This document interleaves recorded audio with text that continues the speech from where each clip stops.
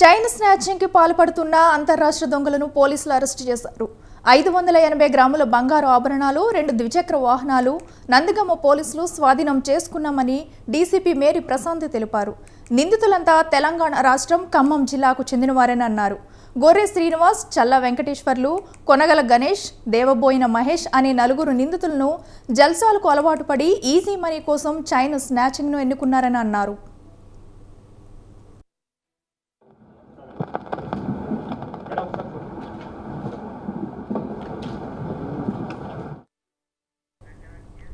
తెలంగాణ ఆంధ్రాలో కలిపి మొత్తం పదహారు దొంగతనాలు చేశారు. పక్కా సమాచారం మేరకు నందిగామ గ్రామ శివారులో అనుమానాస్పదంగా తిరుగుతున్న ఈ నలుగురిని గుర్తించి విచారించగా అసలు విషయం బయటపడింది. పోలీసుల విచారణలో ఈ నలుగురు చైన్ స్నాచింగ్కు పాల్పడినట్లు వెల్లడించారు. నిందితులను పట్టుకోవడంలో నందిగామ పోలీసులు కీలక పాత్ర పోషించారు.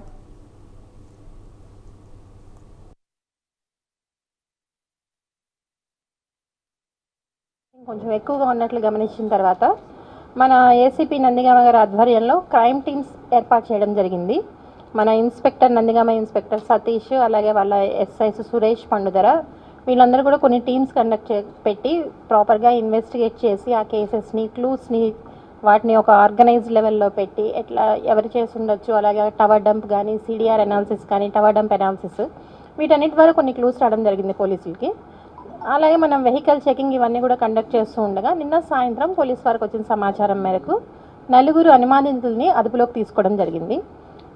మనకు ఆల్రెడీ ఉన్న క్లూస్ ప్రకారం ఈ వీళ్ళు మ్యాచ్ అవ్వడం జరిగింది కాబట్టి వీళ్ళని విచారణ నిమిత్తం పోలీసులు అదుపులోకి తీసుకొని విచారించిన తర్వాత వీళ్ళు దాదాపు పదహారు చైన్ స్నాచింగ్ కేసుల్లో ఇన్వాల్వ్ అయ్యారని ఇంట్రాగేషన్లో వెల్లడైంది.